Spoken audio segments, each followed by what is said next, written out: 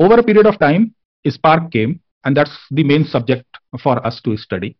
And Spark came on top of Hadoop, right? On, on top of Hadoop platform.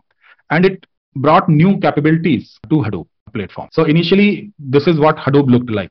A cluster where you can use uh, HDFS to store data across these systems, a Yarn resource manager, which allowed this entire thing to work like a single system, a Hive uh, data warehouse, which allowed you to run SQL queries on this, and Pig scripting, which allowed you to write uh, scripting uh, for doing your data processing.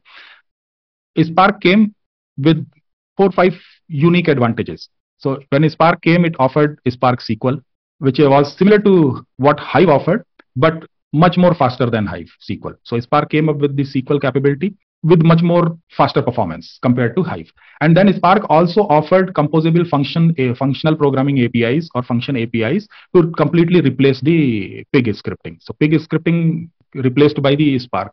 So if you talk about the current scenario, Pig is completely dead on the Hadoop platform. Pig is completely dead. It is absolutely killed by Spark. Uh, it's it's gone. It is not at all used anywhere in the industry.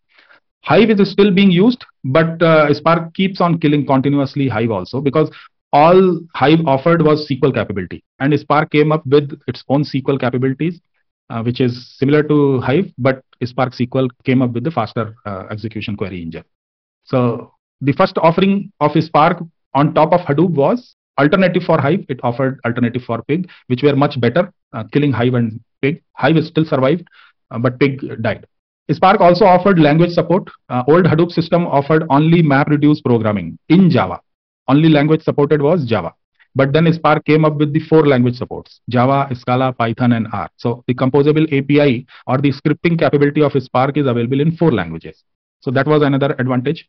In terms of performance, Spark offered 10 to 100 times faster than MapReduce MR and MapReduce programming and 10 to 100 times faster than Hive SQL. So Spark SQL was also 10 to 100 times faster than Hive.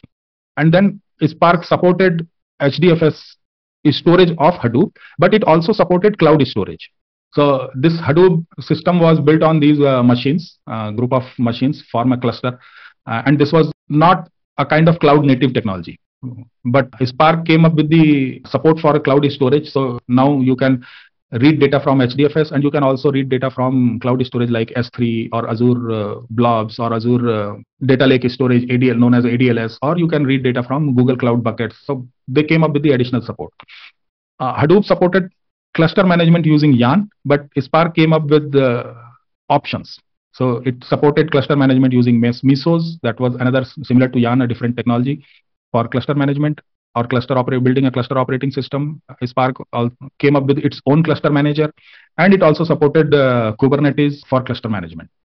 So these are the five unique features that Spark has brought on the table to take over the Hadoop platform entirely, and to take over the capabilities that Hadoop brought and bring it on the cloud platform. And that's why Spark has kept on growing since then. Uh, Pig died, Hive is continuously dying, and Spark is replacing that.